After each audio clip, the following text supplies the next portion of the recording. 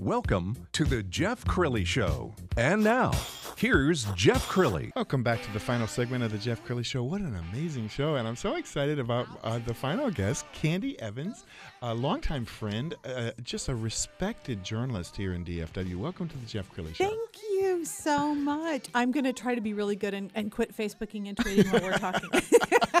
well, I, I, don't know anybody who doesn't like you. I mean, you just, I, I can't even picture your face without a big smile on it. Uh, let me tell those, those who don't know um, Candy Evans uh, broke out on her own, started a blog. And, and when I say blog, uh, some people say, oh, you have a, a, nice little blog. No, no, this is not just any blog. huge. this, this blog is huge. Um, it has been named by the National Association of Real Estate Editors again and again uh, the best blog in the country. And I, I just want to know how did you do it? I don't know. I call myself the accidental publisher because I really had this vague idea. It all started um, when my son got his first job in California and he wanted to go out there. And I said, Well, of course, I'm going to take you out and get you settled like I always do. And he goes, Oh, no, I'm a big boy. I'm going to go by myself and he kind of wanted this girl to go with him. I was like, no, no, I'm your mom. I'm going with you. I'm taking you out there. So I kind of find a, a, conference to go to. So I, you know, would have an excuse. And I got to this conference. It was Inman Real Estate Connect. And this is the year that Twitter was just happening. This is the year that Zillow was just starting out. I literally stood next to the guy who founded Zillow and said to him, what, what do you do? what, what is Zillow? That's a terrible name. And of course, you know, God, you know, now I wish, you know, I hadn't said that.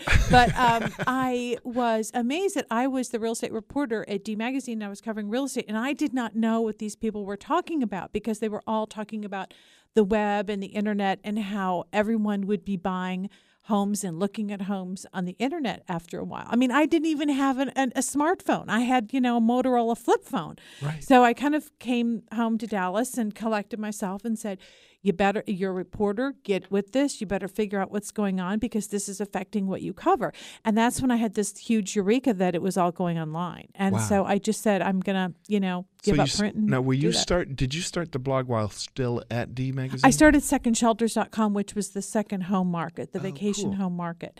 And um, that's a very small niche but there are a number of people in certain i mean the various um, salaries. You don't have to be a millionaire to have a second home, but a lot of people want an escape home or a second home. And interestingly, it kind of relates back to something you had on the show. People see that as a way of protecting their children right. because they can have a second home community they go to. It's very, very closed and safe and secure, and they can let their children roam. They can let them go on the beach without having to, you know, worry about everything they're doing. So I started that at D, and then D decided they didn't want to have the um, the the Dallas Dirt blog. So I just said, well, I'll just do my own. And I kind of pushed everything to the side and just focused on it. Was that scary for you? Like going out on your own, because you know I worked. I worked for Channel Four, and it was, mm-hmm. you know, you're comfortable getting a check every two weeks. Yeah. Was it? It's scary? a lot easier. It's a lot easier. It's a, It's more. It's harder. It's much harder to do your own thing. It wasn't scary though because I mean our children were grown and I told my husband I said, "You know, I'm not going to get a paycheck for about a year." And he goes, "Just don't go to Neiman's." I said, "Okay." you know, so I was like, you know, I'm I'm fortunate in that respect and um, I had helped my husband set up his medical practice so i knew how to do quickbooks i knew how to do all that stuff that you know that you do so that wasn't hard.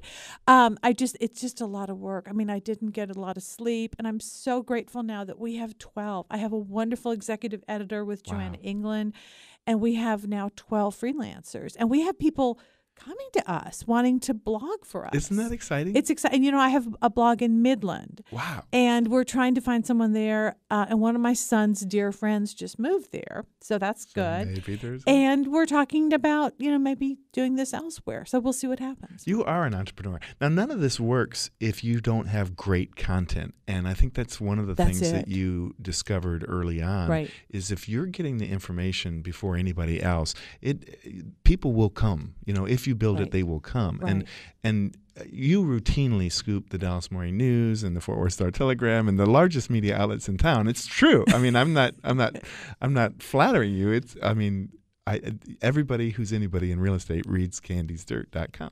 Well, I think that, and thank you for that. I really appreciate it. We try very hard. I mean, I keep my ear to the grindstone or the ear to the whatever it is, whatever that saying is. Ear to know, the ground. Ear to the ground, you know, and my nose to the grindstone. That's my way of shortening it. Um, I um, I try very hard because I have developed a lot of great you know contacts and resources and i think that's something that's missing in media now because of the way they've been kind of abbreviated they they hire young kids who it's great to give them a chance they need a chance but they don't have that that Right. seasonedness we will put it that way you know where i've been around for a long time i know these people and Yes. i am not going to double cross them either What would you say? Like, I, I know you've had countless scoops. What What are some of your biggest scoops where you say, "I broke this and everybody followed me"?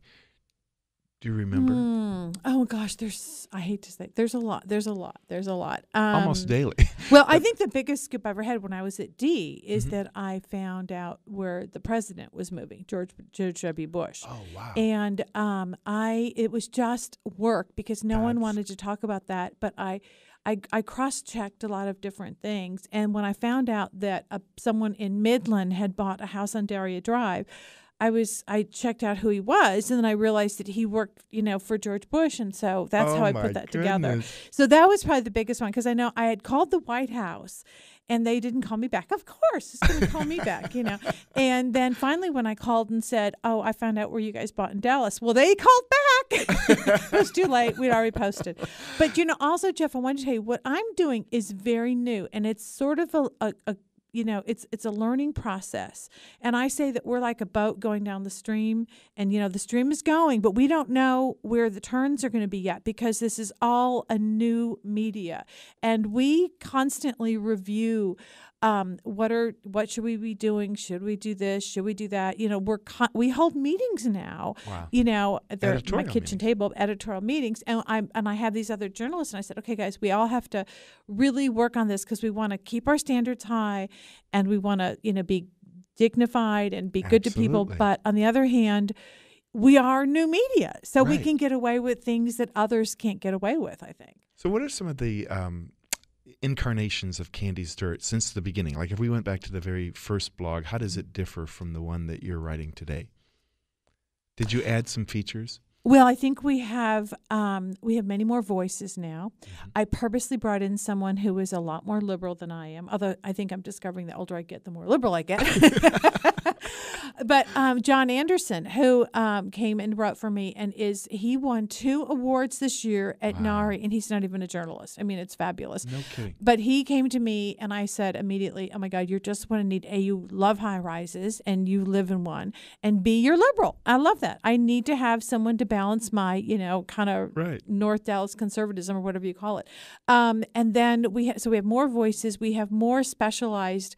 We we now know what you know what people want to read and we know what gets hits although i will tell you it never ceases to amaze me when a story gets legs and gets traffic and just gets you know thousands and thousands of hits and i go oh my Right. god i never would have thought that Well, um, you and I have a mutual friend in Dave Mullen from the Katy Trail Weekly, and Oh he, my God, he tells him. me that Yes. yours is the most popular item week after week. Yeah, he Katy um the Katy Trail Weekly is so sweet. I have my little center spot there and um he'll call he'll he'll email me at like three in the morning, go, Where's my dirt? You know, like, oh my God, I forgot to give it to you this week. Um, I love that. And I love that that is, you know, a print thing because hyperlocal print does very well. Again, it's content. People don't want to read about stuff that they can get anywhere. Right. They want the nitty gritty. And I kind of know what I want. And I just give it to people. That's all. So, do you go to a lot of cocktail parties my with God. realtors, or how do you how do you get your scoops? Well, uh, that's kind of my trade secret, but I Yeah. think it really has to do with relationships. It really does. Um, but I do go to a lot of parties. Oh my God, I do. Do you find well your sources that you've known for years whisper it to you uh, before ever giving it to somebody at the Dallas Morning News or or uh, Fort Worth Star Telegram? Well, yeah, because 4, the 5, Dallas 8? Morning News doesn't they don't really write about real estate though. I mean, and poor Steve Brown, he does a very good job, but you know, he's got to cover commercial, which is huge. Yes. Huge in this and he's got to cover commercial, he's got to cover residential. And yeah, Steve still gets a few scoops once in a while. I tease I tease Candace Carlisle at the Dallas Business Journal. I said, Well, they hired you because your name is Candace to compete with me, you know. That's got to be Candace. she's a very, very, She very is a good. eh, She's, a yeah. good journalist. She yeah. really and she covers commercial, residential, and sports. I mean, that's a lot to do, you know.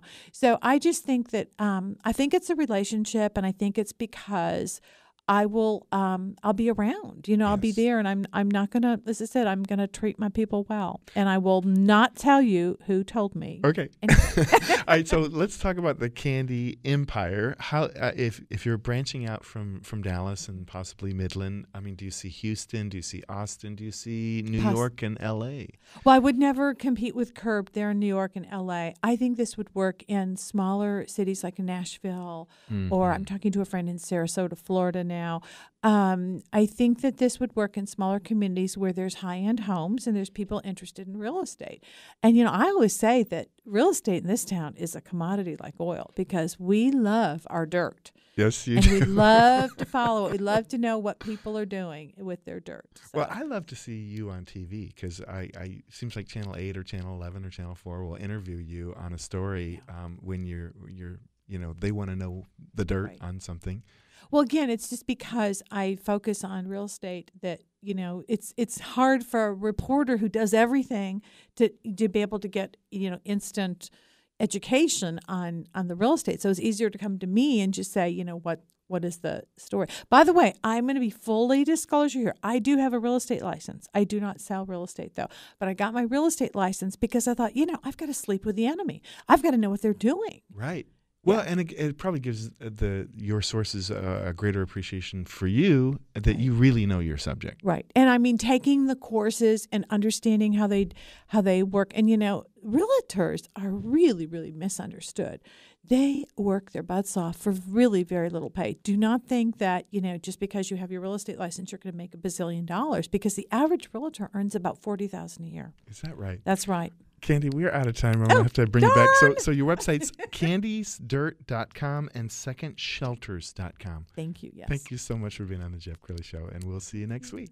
Okay.